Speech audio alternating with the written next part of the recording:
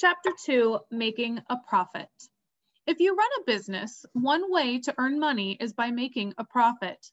It costs money to run a business. This money makes up the expenses. The money in a business it takes in is called revenue. After revenue covers all the expenses, the extra money is profit.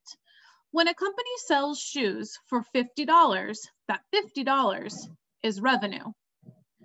Companies that sell products such as shoes earn money when they sell a product. What is that money called? If the shoes cost the company $40 to make, the company earns $10 in profit. Costs and prices. People who start businesses are called entrepreneurs. They take risks. Their business ideas always have the chance to fail. If a business fails, an entrepreneur could lose money. However, a business may become very popular. The payoff from starting a successful business can be huge. Being an entrepreneur takes a lot of research and hard work. Running a business is not just for adults. Kids can run some businesses themselves. One example is a lemonade stand.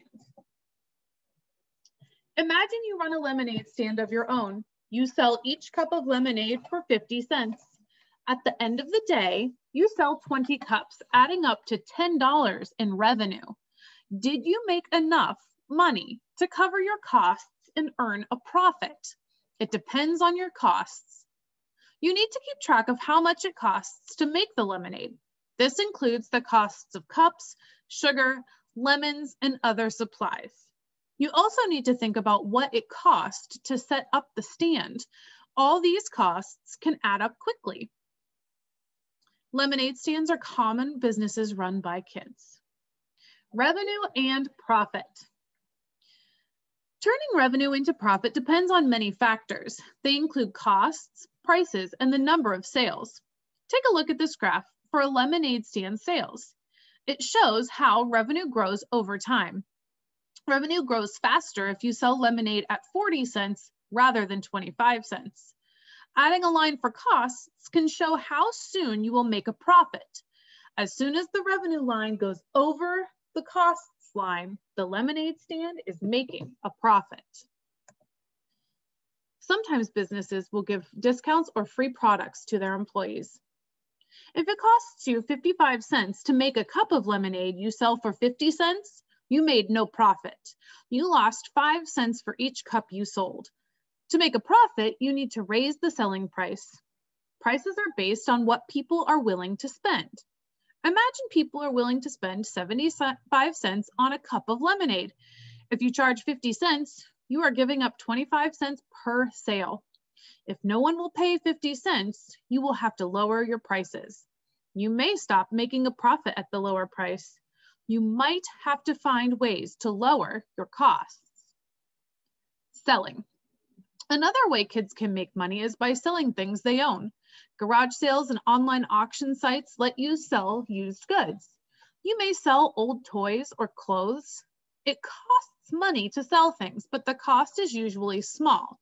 You must spend time organizing the items. You may have to make signs for a garage sale. Selling online means you will have to pay for shipping costs. Did you know? Jaden, age 12, and his sister Amaya, age 11, live in Tennessee. They run their own business. It started when their mom challenged them to make their own money. They decided to sell snow cones.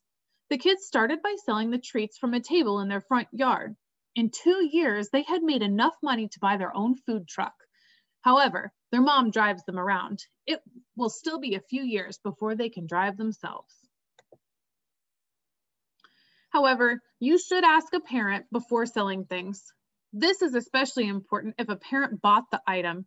He or she might want to put the money back into the family budget, or your parent might not want to sell the item at all. Another way to make money is to sell things you have made. You could make bracelets or carve wooden sculptures. You can also sell services such as pet sitting or garden weeding. There, these are some of the most popular ways for kids to earn extra money.